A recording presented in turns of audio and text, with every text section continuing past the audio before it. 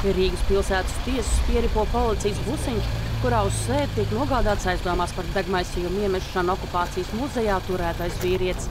Redzot preses klātbūtni, viņš mēģina slēpt seju. Aizdomās turētais, kurš ir Latvijas pilsonis, iepriekš policijas redzeslokā bija nonācis saistībā ar narkotiku noziegumiem. Pēc aptuveni stundas beidzas tiesas sēde. Iespējamo vainīgo saslēgtu roku dzelžos policijā aizved. Viņš komentārus nesniedz, un no komentāriem atsakās arī advokāts. Vai jūs varat atklāt, kāds ir drošības līdzeklis piemērots? Motivācija nozieguma izdarīšanai vēl tiek skaidrota, taču viena no galvenajām versijām ir tāda, ka nodarījums veikts pamatojoties uz naidu pret Latvijas valsti, iedzīvotājiem, brīvību un muzeju kā objektu. Policija saistībā ar uzbrukumu muzejam aizturēja vēl divas personas, par kuru drošības līdzekli tiesa lems rīt. Madara Līcīta, Denis Benke, Latvijas televīzija.